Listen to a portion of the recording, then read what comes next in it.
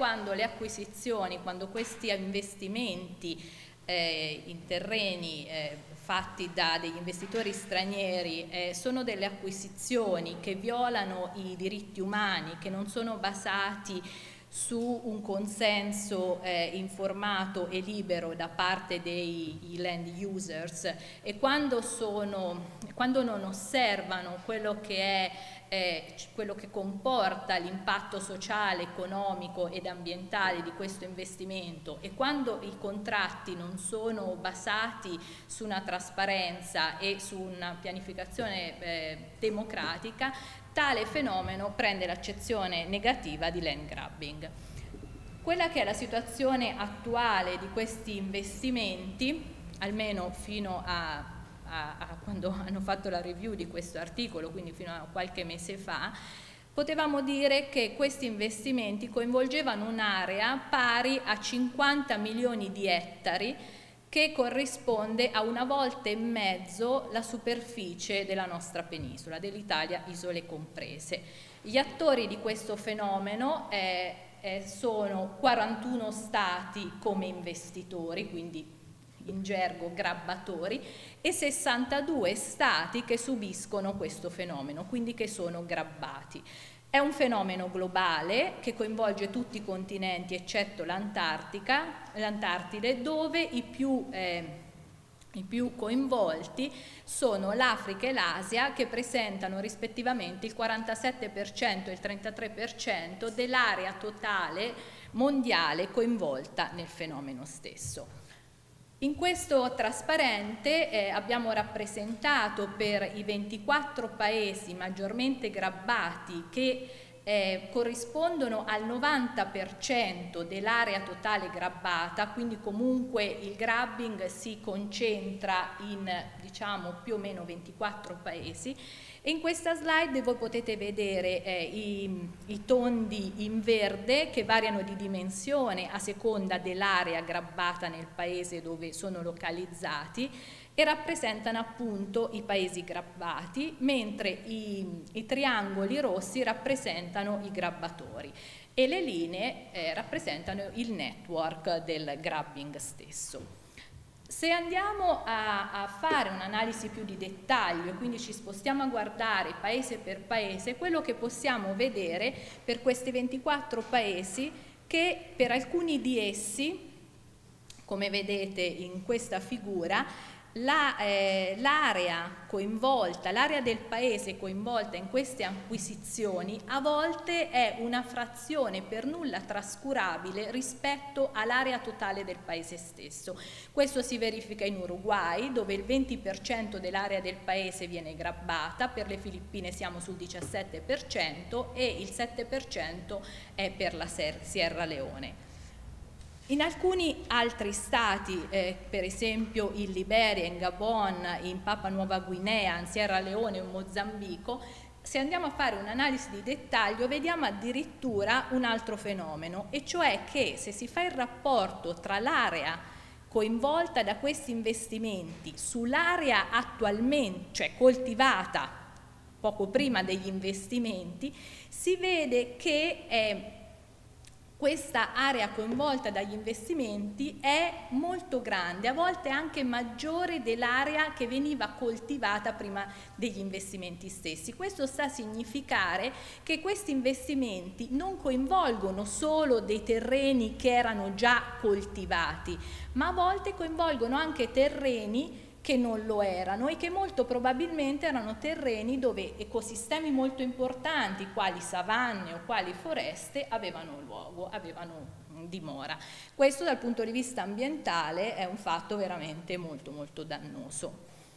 Siamo andati poi a vedere quali sono eh, le forzanti, i drivers di questo fenomeno che sta eh, prendendo sta, sta avendo un'escalation un molto grande dal 2008 fino adesso. I drivers principali sono l'incremento della popolazione, il cambiamento di dieta di, eh, di alcuni paesi, eh, special modo i paesi dell'estremo oriente, quale Cina ed India, che si stanno spostando verso una dieta fortemente ricca di carne e quindi eh, fortemente avente un grossissimo impatto a livello idrico, E ehm, un altro driver molto importante è quello dei cambiamenti nella politica energetica, specialmente degli Stati Uniti d'America e dell'Unione Europea. Si è visto infatti che nel 2007 gli Stati Uniti hanno promulgato una legge eh, che incentivava l'uso del bioetanolo, mentre nel 2009 la Unione Europea ha promulgato la direttiva eh, sull'uso delle risorse energetiche rinnovabili. Questi due aspetti, quindi l'incremento della popolazione e il cambiamento della dieta da una parte,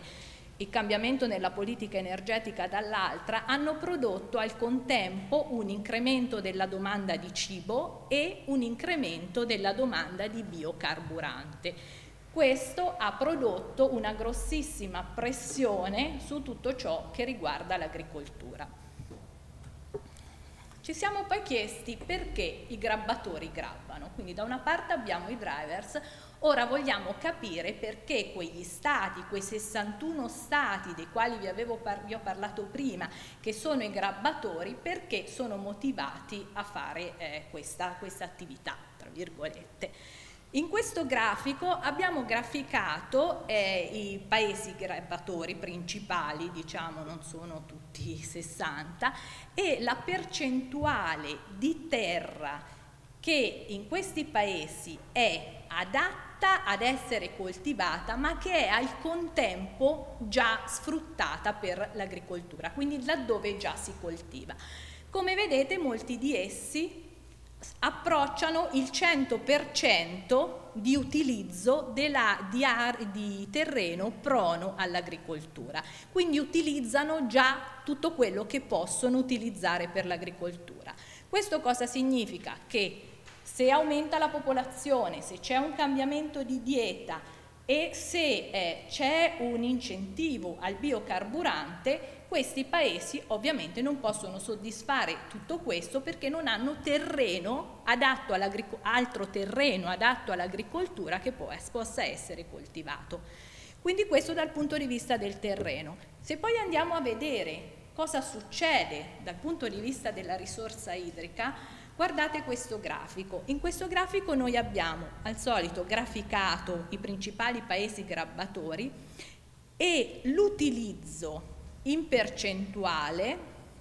della risorsa idrica di acqua dolce rinnovabile che essi già utilizzano. Se voi guardate l'asse delle, delle ordinate, vedete che molti di loro superano ampiamente il 100% e lo superano anche di ordini di grandezza. Ciò significa che in alcuni paesi si è già oltremodo sfruttata la risorsa idrica di acqua dolce rinnovabile che già si usa la non rinnovabile e che quindi c'è un fortissimo bisogno di risorsa idrica altrui. Perché ci, ecco, perché ci, interessa la risorsa idrica? Ci interessa la risorsa idrica e in modo particolare non, ci vogliamo andare a capire anche come globalmente la risorsa idrica si ridistribuisce attraverso questo fenomeno di land e water grabbing. Per fare questo cosa abbiamo fatto noi? Eh, non vi tedierò con le equazioni matematiche, vi dico solamente che noi siamo andati prima di tutto, ed è stata una cosa molto, molto onerosa per noi, abbiamo dovuto costruire eh, come prima cosa un campione di dati sul quale fare i nostri calcoli, cioè il nostro scopo era quello di andare a calcolare la risorsa idrica associata al land grabbing. Quindi da una parte c'era questo acquisto di terreno, dall'altra noi dovevamo calcolare in base a quello che veniva coltivato in questo terreno quanto era, come ciò si traduceva in termini idrici. Per far questo abbiamo dovuto costruire un campione di dati di queste acquisizioni. La cosa è stata difficilissima perché il fenomeno del land grabbing per sua natura è un fenomeno che viene tenuto nascosto sia da chi grabba ma anche da chi è grabbato perché coinvolge dei governi e eh, capite dalla definizione che vi ho dato eh, capite perché non è così facile ottenere dei dati su questo fenomeno. Eh, siamo ricorsi per crearci il nostro database a la, la, letteratura scientifica innanzitutto, ai rapporti delle agenzie delle Nazioni Unite e delle eh, organizzazioni non governative, abbiamo quindi costruito il nostro inventario di paesi grabbati e di paesi grabbatori, dove per ogni paese grabbato noi eh, abbiamo, abbiamo trovato la sorgente dell'informazione, il paese investitore, l'area eh, del, dell'investimento, quindi l'area della terra grabbata e il tipo di coltivazione che il grabbatore prevedeva o che già aveva attuato per, nell'area grabbata. Abbiamo quindi costruito un database alla fine di 450 terreni eh, per ciascuno dei quali abbiamo calcolato l'acqua associata alle coltivazioni che eh, eh, venivano effettuate in questi, in questi terreni. Perché ci interessa, interessa l'acqua? Come vi ho detto eh, la popolazione sta aumentando, eh, si sta cambiando la, la dieta, si sta intensificando politica, le politiche energetiche volte all'utilizzo di biocarburanti. L'acqua è importante perché l'acqua è alla base di tutto. Noi siamo abituati a pensare eh, ad, un, ad, un, bene, ad un qualsiasi prodotto e quando ci, ci pensiamo all'acqua contenuta nel prodotto, pensiamo solo a quello che è il contenuto di acqua nel prodotto nel momento in cui noi lo utilizziamo. Qui io vi ho portato questo esempio, se noi consideriamo una mela, il contenuto d'acqua della mela è 0,12 litri. Ok? Quindi l'acqua che c'è in una mela da un etto, un etto e mezzo è 0,12 litri. Ma non, questo è erroneo considerare questo contenuto d'acqua. Quello che invece si deve considerare è l'acqua che è stata necessaria per avere il prodotto, il bene che noi utilizziamo. Questo concetto è chiamato acqua virtuale. Secondo questo concetto, questa metrica, noi possiamo eh, trasformare tutto e parlare di ogni cosa come di un contenuto d'acqua, che non è il contenuto del bene che noi nel momento in cui noi lo utilizziamo, ma l'acqua che è stata necessaria a produrre quel bene come noi lo utilizziamo. Se vedete per, per una mela abbiamo che 0,12 è il contenuto d'acqua nel momento in cui noi lo utilizziamo, 125 litri è l'acqua che è stata necessaria per produrre quella mela. Da qui voi capite perché il calcolare l'acqua associata al fenomeno dell'appropriazione di terra, associata al land grabbing, è fondamentale perché questi, questi, molti di questi terreni vengono coltivati, quindi sono terreni nei quali si produce cibo, quindi viene tolta dell'acqua eh, alle persone autoctone per produrre cibo che poi sarà un cibo che verrà fruito da altri. Dai nostri calcoli è emerso che l'acqua associata a una volta e mezzo l'Italia di superficie di terre grabbate è circa 450 miliardi di metri cubi l'anno. Se volete fare un rapido calcolo potete vedere quanto è il volume del lago di Garda e vedete quante volte, quanti laghi di Garda vengono grabbati. Di questa, di quest'acqua, sempre secondo quel concetto di acqua virtuale che vi ho esposto prima,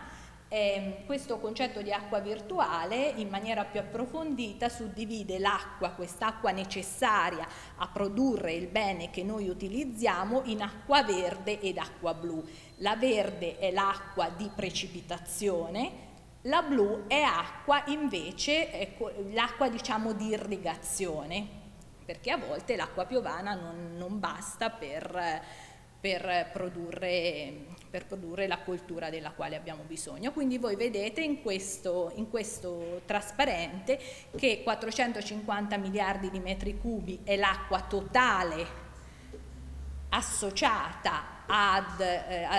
ad, una volta e mezzo eh,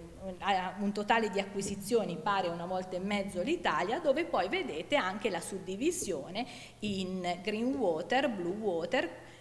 e poi abbiamo anche fatto degli scenari dove eh, andavamo a vedere anche quanto era l'acqua impiegata. La blue water massima è l'acqua impiegata per irrigare le colture in condizioni di massimo rendimento della coltura stessa, mentre quella che vedete come blue average è l'acqua eh, impiegata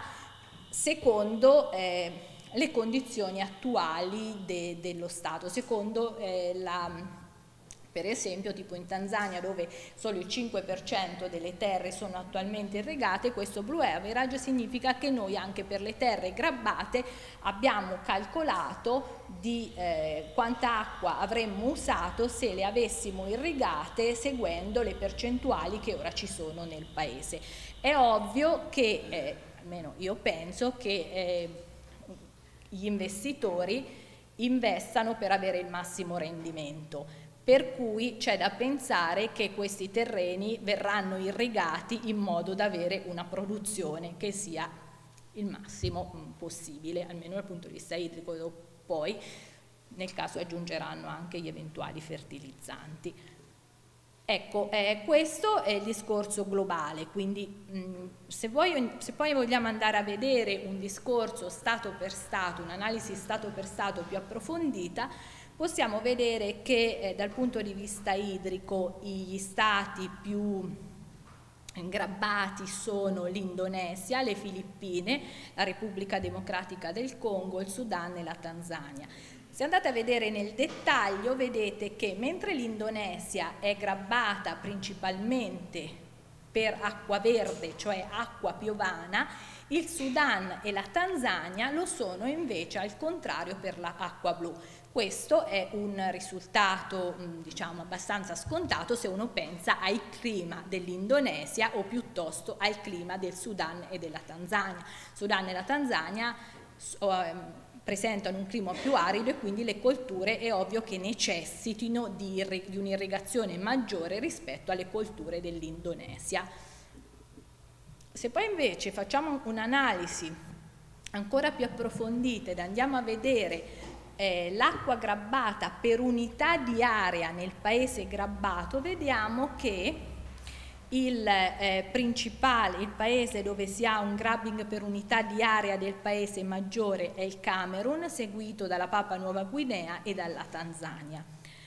Ciò cosa sta a significare? Sta a significare che eh, nel momento in cui si fanno analisi di water grabbing non basta semplicemente andare a vedere quanto è l'estensione dell'area grabbata, cioè quanto è il land grabbing e quindi dire per esempio se il paese eh, maggiormente affetto da land grabbing è la Tanzania, non è detto che la Tanzania sia anche quella più affetta da water grabbing.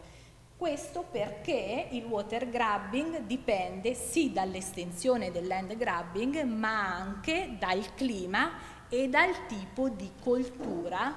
che si intende coltivare. Quindi è molto più complesso che andare a vedere solo il land grabbing. Il land grabbing è un inizio, ma per andare a stimare il water grabbing bisogna fare un calcolo dell'effettiva acqua impiegata nel paese dove si grabba con le proprie condizioni meteorologiche e anche il tipo di coltura, perché ci sono delle colture più esigenti e delle colture meno esigenti dal punto di vista idrico. Bisogna quindi andare a vedere cosa i grabbatori vogliono coltivare e dove. Un'ultima analisi riguarda un fatto eh, forse il più importante che è quello della malnutrizione. In questo grafico eh, abbiamo messo in relazione i paesi grabbati con la percentuale di malnutrizione che vi è su di essi. Come vedete molti dei paesi grabbati presentano delle altissime percentuali di malnutrizione. Se noi andiamo a tracciare, che è la riga rossa che vedete, quello che è il consumo di acqua pro capite annuo per una dieta bilanciata, e vi ripeto, eh, l'acqua viene considerata come una metrica, quindi che cosa si fa? Eh, cosa è stato fatto? È stata considerata una dieta bilanciata. Una dieta bilanciata è un certo numero di calorie, calorie date da eh, calorie di tipo animale, calorie di tipo vegetale. Queste calorie sono state trasformate in acqua grazie al concetto di acqua virtuale che vi ho fatto vedere prima. Da ciò è emerso che una dieta bilanciata, un essere umano eh, eh, avente una dieta bilanciata consuma in un anno 1500 metri cubi di acqua. Se noi tracciamo, ed è questa riga rossa, i 1500 metri cubi di acqua, vedete come in molti paesi affetti da malnutrizione l'acqua grabbata pro capite annua, che sono queste barre verdi o blu, non so come si vedano, eh, vedete che l'acqua grabbata è superiore a quell'acqua necessaria per una dieta bilanciata. Questo sta a significare che in questi paesi, se invece del grabbing questi terreni fossero coltivati per sfamare le persone che vivono in essi, si potrebbe diminuire la malnutrizione. Dal punto di vista dei grabbatori, per concludere, per dire due parole anche su di essi, da qui si vede come i paesi grabbatori eh, acquistino risorsa idrica. Vedete quanta ne acquistano e come è suddivisa in acqua blu e acqua verde. Vedete come gli Emirati Arabi, che se vi ricordate avevano uno sfruttamento della, del terreno eh, prono all'agricoltura ormai al 100%, uno sfruttamento della risorsa idrica rinnovabile che era del 1000-2000%, vedete che acquistano molta acqua grazie a questo fenomeno. In conclusione, eh, questo lavoro purtroppo ha, ha delle incertezze ovviamente connesse alla natura dei dati incertezze mm, con le quali non abbiamo potuto fare niente perché come vi dicevo l'incertezza dei, dei, dati purtroppo è insita nella natura di questo fenomeno. Tuttavia eh, eh, certe conclusioni sono emerse e portano a riflettere su questo, su questo argomento e su purtroppo l'importanza che esso ha e speriamo mh, che in qualche maniera questi studi servano ai decisori politici per regolamentare il, il fenomeno del, delle acquisizioni di terreni in, in terre straniere eh, e di regolarizzarle in modo tale che sia assicurata una food security e una water security nel, in tutti i paesi del mondo, perché comunque la food security è un problema globale che va risol risolto globalmente, ma certamente la direzione non è quella di prendere terreno, risorse a coloro che si sanno meno difendere.